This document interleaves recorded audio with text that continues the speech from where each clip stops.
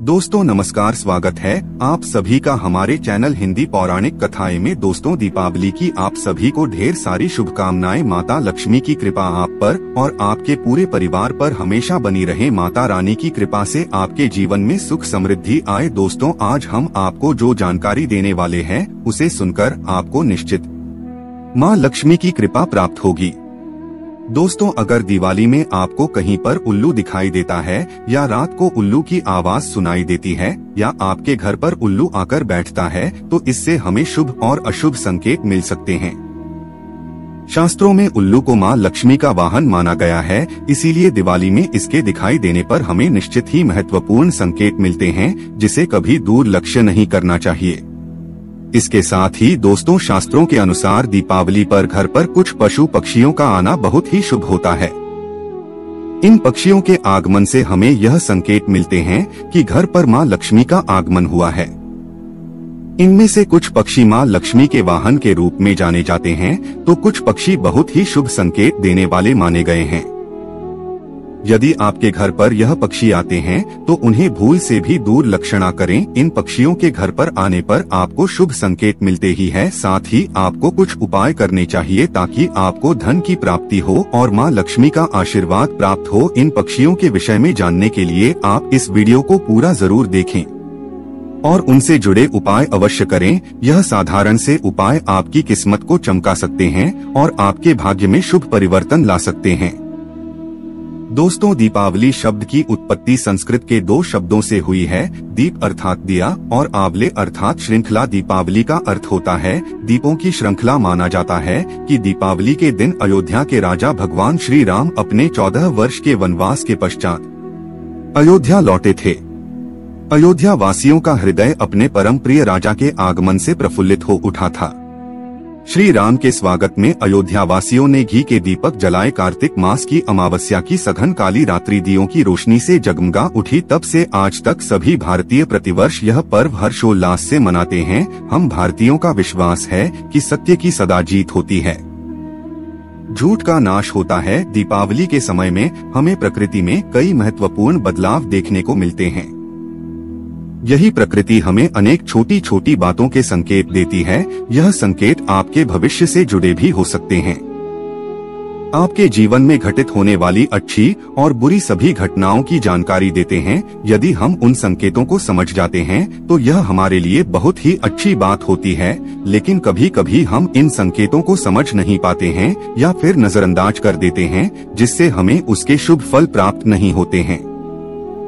दोस्तों, हर दिन आपके घर पर पशु पक्षी आते होंगे और आप इसे साधारण सी घटना समझकर दूर लक्ष्य करते होंगे। लेकिन दोस्तों, शास्त्रों के अनुसार दिवाली के समय पर अगर घर पर कुछ विशेष पशु पक्षी आते हैं तो वे विशिष्ट प्रकार का संकेत देने के लिए आते हैं। पशु पक्षियों को सकारात्मक और नकारात्मक ऊर्जा का एहसास होता है और वे हमेशा ही सकारात्मक ऊर्जा की तरफ़ आकर्षित होते हैं।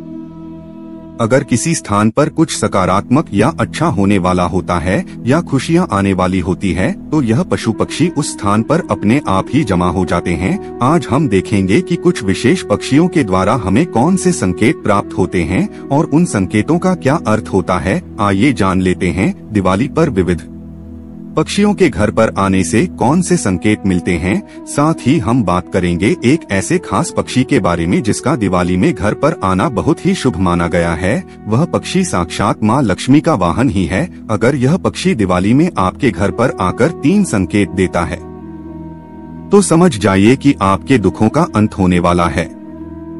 आपका अच्छा समय शुरू होने जा रहा है। आपके जीवन में धर्म से जुड़ी जितनी भी समस्याएँ हैं, वह सभी समाप्त होंगी। तो चलिए जान लेते हैं, दिवाली में घर पर पक्षी आने से कौन से संकेत मिलते हैं? सबसे पहला पक्षी है, कौवा दोस्तों का एक ऐसा पक्षी है, जो किसी को भी प्रिय नहीं होता है।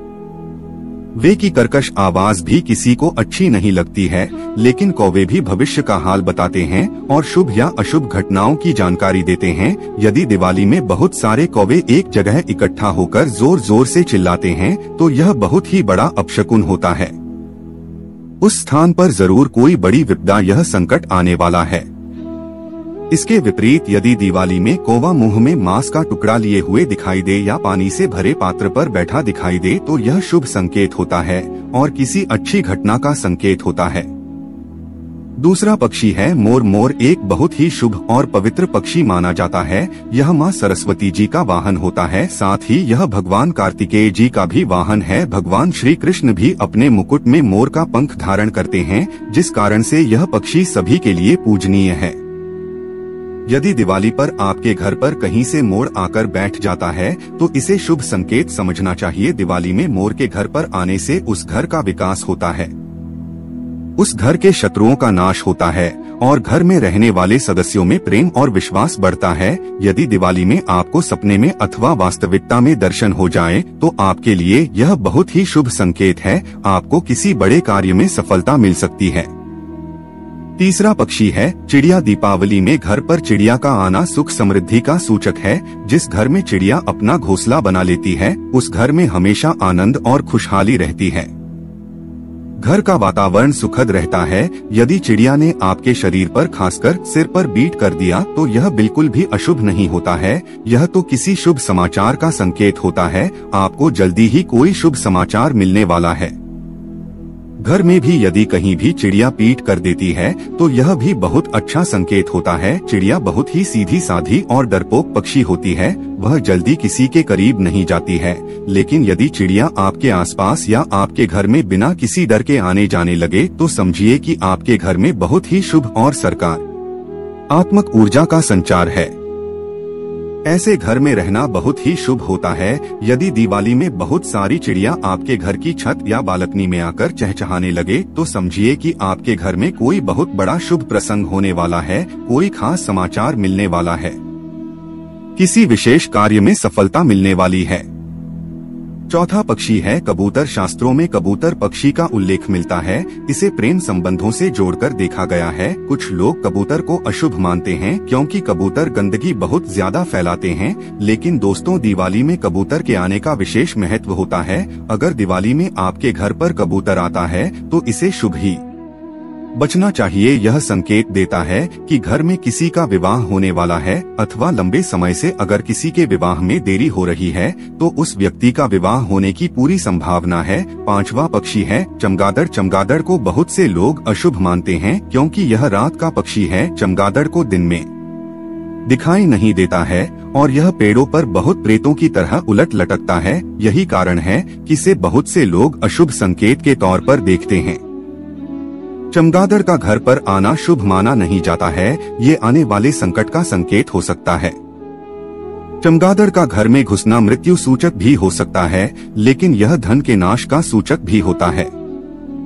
दिवाली में यदि चमगादड़ घर में आता है तो उस व्यक्ति को आर्थिक नुकसान का सामना करना पड़ सकता है, अथवा उसका धन अचानक से खर्च हो सकता है। छठा पक्षी है, उल्लू। दोस्तों, दिवाली में उल्लू का दिखाई देना शुभ माना जाता है।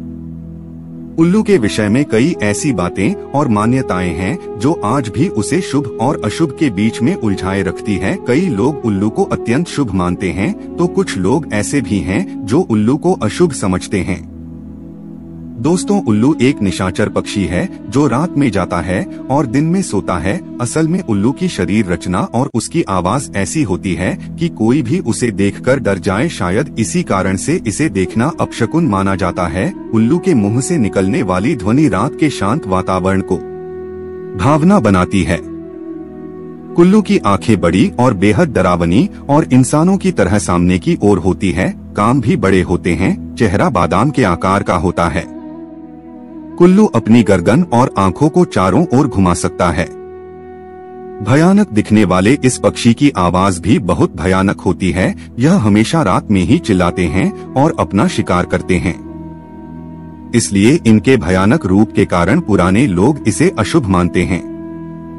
लेकिन दोस्तों, पुराणों में वर्णित कथा के अनुसार लक्ष्मी जी जब स्वर्ग से धरती पर आ रही थी तो उन्हें सबसे पहले प्राणियों में उल्लू ही दिखा था। क्योंकि वह रात का समय था तो प्राणियों में उल्लू ही ऐसा था जो जाग रहा था, इसीलिए उन्होंने उसी को अपना वाहन बना लिया। इसीलिए दीपावली के समय उल्लू का दिखना या उसकी आवाज़ सुनाई देना अत्यंत शुभ माना जाता है।